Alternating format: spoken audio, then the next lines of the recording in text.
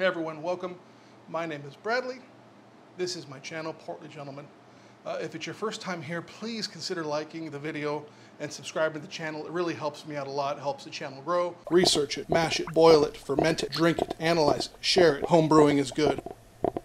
So you may have not noticed for a while now, you follow me on Instagram. Please check me out uh, at Portly Gentleman on Instagram. I'm also in uh, Facebook, involved in the Brewtools community there. Is I've had the steam condenser for quite a while. And I've used it for a good amount of brews, and I've been kind of quiet about it.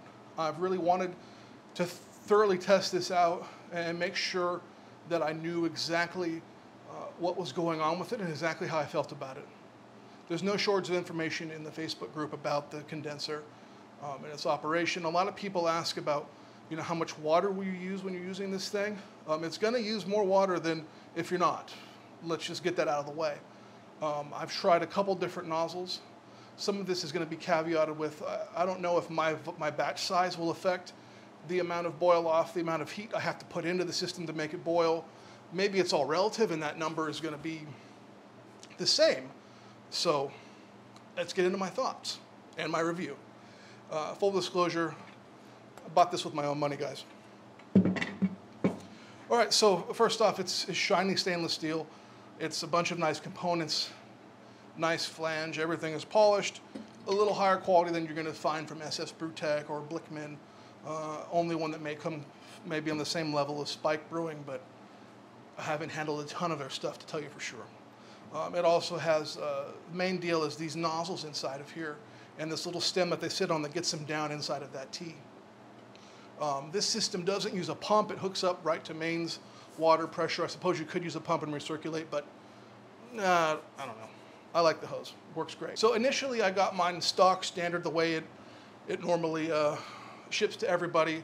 Uh, I'll put the, uh, the size of the, uh, the orifice, the, the, the, nozzle, how many uh, microns or millimeters it is, whatever the me measurement is there. And they have some stuff about pressure. Uh, I'm not going to speak in bar because it's my head doesn't work. I'll talk in PSI, guys. I'm in America. Um, please forgive me. Uh, if you guys are in the U.S. too, then it's going to be great. So basically, my house's water pressure is slightly low. Um, it's about 50 psi. Uh, it's what the regulator is set to. Every time I come and go from the house, I look at the regulator and think I could just just turn that set screw and then turn the other little bolt and bump up the pressure. But my house is like 30 years old, and uh, I don't want to water damage blow pipes. That would that would really suck. My wife would be upset, and uh, yeah, it's just bad, right? Uh, so my pressure is slightly lower than most homes in the U.S. I think, but if you guys want to duplicate this pressure-wise, you can easily go to Home Depot or a, uh, any sort of irrigation store and buy an inline like plastic PVC regulator. They have them at 40 or 50 pounds. Uh, super easy to get if you guys are pushing a lot of water pressure. I know if you're uh, some places, UK, maybe Australia, you guys have crazy water pressure. I wish I had that here. It would be great. I found with the stock nozzle that in a, my regular brew, my typical volume I do uh, somewhere around 11, 12 gallons in the fermenter, um, and a regular 60 minutes, I found I was using about 24, 25 gallons of water, maybe more, honestly. Um, and that's kind of a, that's a good amount of water. Water here in Southern California is pretty expensive. Uh, I water the hell out of my grass because I like it to look green which means I have to mow it more, which I kind of enjoy mowing it too. Anyway, so that's, you have to keep that in mind, that, uh, you know, it's how much water you're gonna use. Everyone seems to ask that question.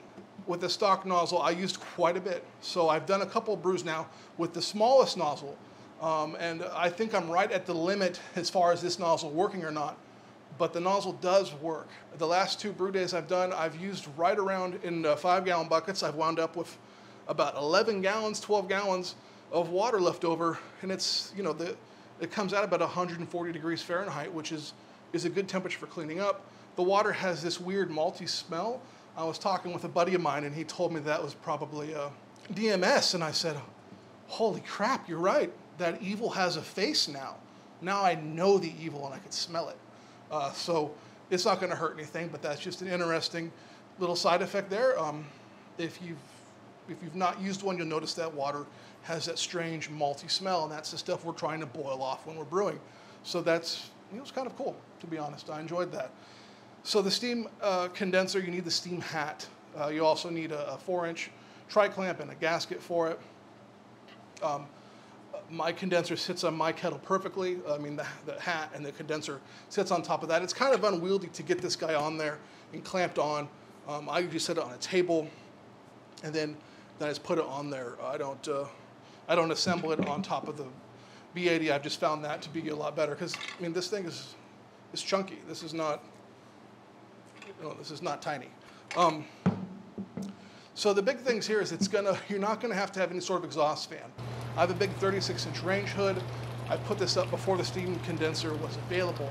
Um, trust me, this was more of a pain in the ass to put up the hood and expensive than the steam condenser is to use. So just get a steam condenser. It's gonna be better, even with buying the steam hat, it's, it's gonna be, uh, it's gonna be good. My, my hood pushes a thousand CFMs. I don't have any problems with steam, but I do have moisture that collects inside of it and will drip down um, just because there's so much, just uh, so much steam comes off of a a B80 when it's running.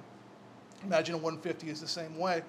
So definitely, this thing's a must just for that ease of life. Imagine if you're in a basement, yeah, that would suck to mold and mildew everywhere. It's also going to allow you to boil with even less power requirement. Like I said, in my batch, my scenario, uh, I'm some happy somewhere, honestly, around 40, 38% power. Um, even 35, I think I'm, I'm, I'm great with my volumes that I'm doing.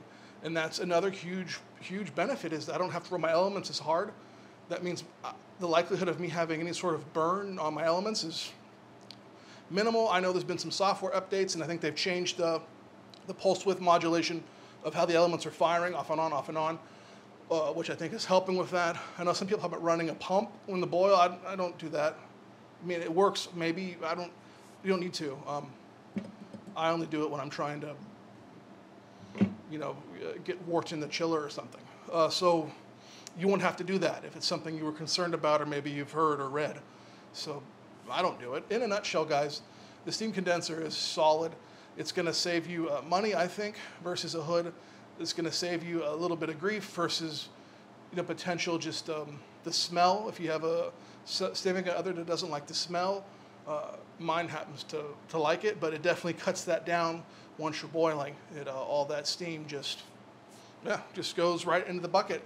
And then you have, like I said, I have about 12 gallons of extremely, well, 140 degree water to use to clean up, which means it just speeds up my whole process because even though the, you know, this equipment heats up quickly, you're still dumping energy into it to heat that water. It takes time now. If I can dump in, you know, I start with, you know, five gallons of my last uh, steam runnings, as hot as it can be. That's a good place to start with PBW, CIP, and then uh, drain some off liquids. So the, leave about a gallon in there so the elements are exposed.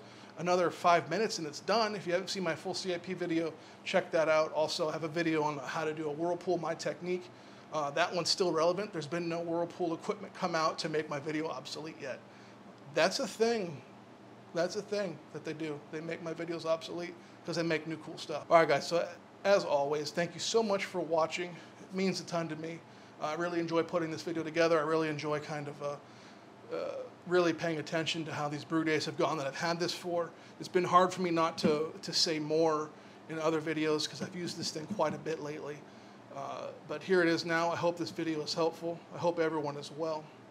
As always, remember, this has been Bradley, and home brewing is good. I'll see you real, real soon. Thanks again.